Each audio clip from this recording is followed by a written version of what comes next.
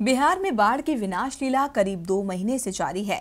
कुदरत के इस कहर में अब तक 400 से ज़्यादा लोग अपनी जान गंवा चुके हैं।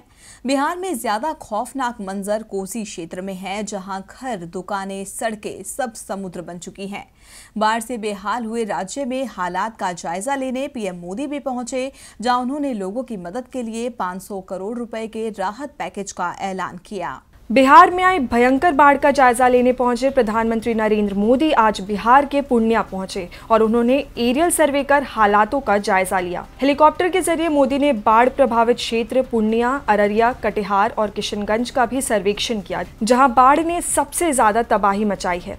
ये दौरा प्रधानमंत्री मोदी ने मुख्यमंत्री नीतीश कुमार और उप मुख्यमंत्री सुशील मोदी की देखरेख में किया। उसके बाद उन्होंने पूर्णिया से आने हवाई अड्डे पर बने सभागार में अधिकारियों के साथ बैठक कर हालात की समीक्षा की और राज्य में हुई बाढ़ से तबाही की स्थिति का आकलन भी किया। समीक्षा बैठक के दौरान बाढ़ से संबंधित सभी विभागों के प्रमुख अधिकारी वहाँ मौजूद थे। इसके बाद नीतीश कुमार ने बाढ़ से हुए नुकसान के बारे में भी पीएम को जानकारी दी। पीएम ने अधिकारियों के साथ बैठक के बाद 500 करोड़ के राहत पैकेज का ऐलान किया। साथ ही उन्होंने ये भी कहा कि जल्द ही केंद्रीय टीम नुकसान के आकलन के लिए बिहार आएगी। उधर प्रधानमंत्री के दौरे पर अपनी प्रतिक्रिया व्यक्त करते हुए राजद मुखिया लालू प्रसाद यादव ने कहा कि बिहार में बाढ़ आई नहीं है, बल्कि लाई गई है। नीतीश के इंजीनियर बाँध काट कर बाढ़ ले आए। लालू ने कहा कि जब पिछले वर्ष बिहार में बाढ़ आई, तब मोदी जी ने ये महसूस नहीं किया था कि बिहार को मदद की ज़रूरत है।